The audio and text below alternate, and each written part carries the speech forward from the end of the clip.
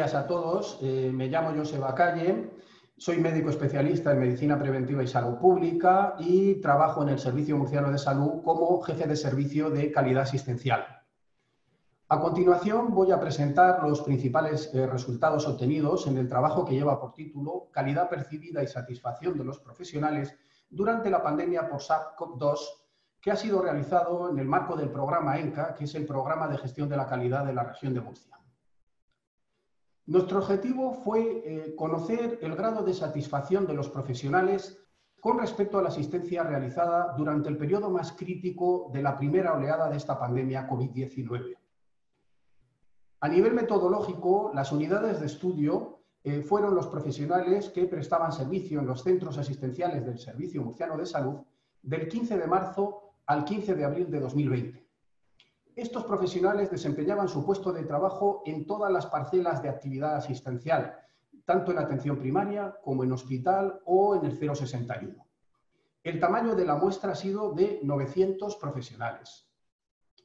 Eh, los entrevistados pertenecían además a todos los ámbitos de actividad asistencial, eh, tenían todos los perfiles profesionales eh, de aquellos que se habían dedicado al eh, contacto directo con estos pacientes. en su mayor parte se trataba de médicos y enfermeras, pero había también auxiliares de enfermería, celadores y técnicos de emergencias sanitarias. La selección de los entrevistados se hizo mediante muestreo aleatorio simple y no proporcional al número de profesionales por centro o categoría profesional. El instrumento utilizado para la recogida de la información eh, fue el cuestionario ENCA para profesionales, modificado y adaptado en 2020.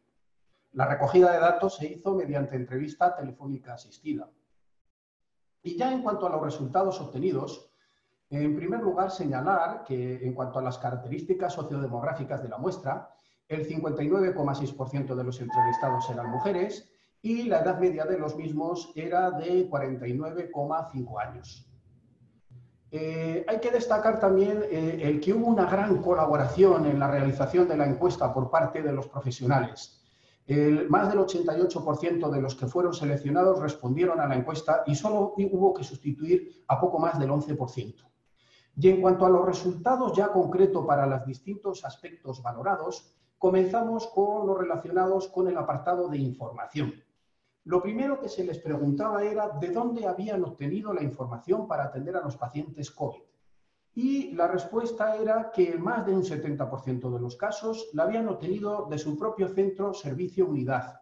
Y en segundo lugar aparecía con poco más del 25% el Servicio Murciano de Salud. En los últimos puestos aparecen eh, con menos del 20% las web científicas, las sociedades científicas y el Ministerio de Sanidad. Cuando se les pregunta por el grado de satisfacción con la información aportada por su centro, este fue eh, alta, entendiendo por satisfacción alta una puntuación de 8 y más en una escala de 0 a 10, en el 27,8% de los profesionales.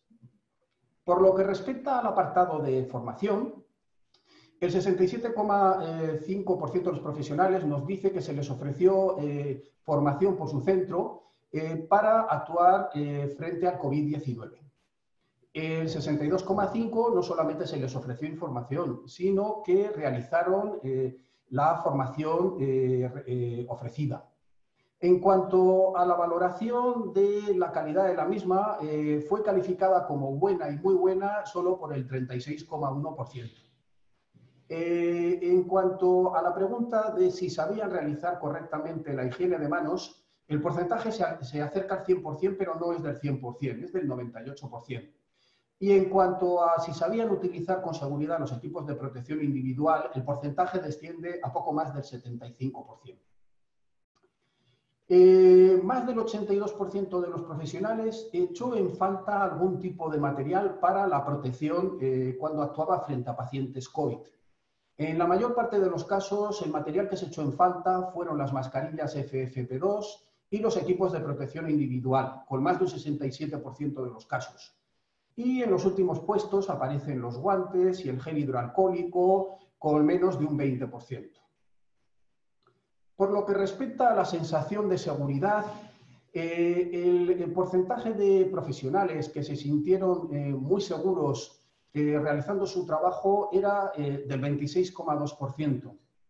y subía al 48,3% cuando se les preguntaba por qué nivel de seguridad habían tenido sus pacientes. En cuanto a la actuación frente a casos eh, y contactos en profesionales, el 60,2% de los entrevistados nos dicen que ha habido algún caso o contacto en su centro y que eh, en el 65,6% eh, de los casos se siguieron los protocolos específicos para el manejo de casos y contactos COVID-19 en profesionales.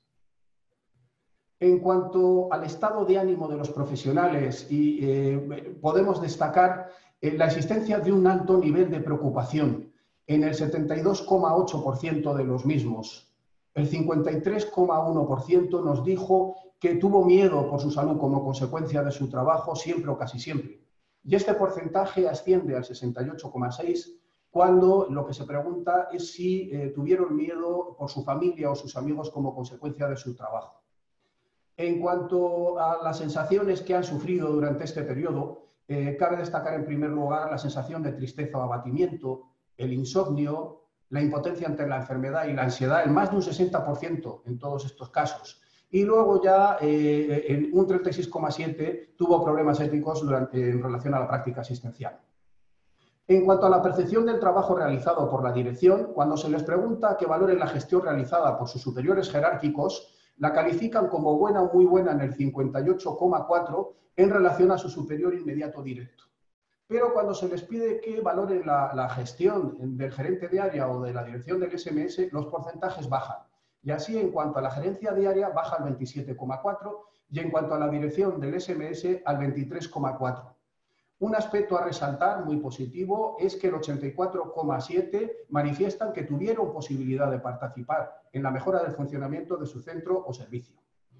Y eh, en cuanto a la satisfacción global con el trabajo realizado, esta fue alta en el 47,2%, vemos que menos del 50% y más elevada en los profesionales que trabajaban en el 061 y menos elevada en los que trabajaron en las urgencias hospitalarias. Eh, ¿Qué aspectos mejorarían estos profesionales? Pues en primer lugar aparece la falta de recursos materiales y humanos, los aspectos relacionados con la organización y previsión y con la información y comunicación.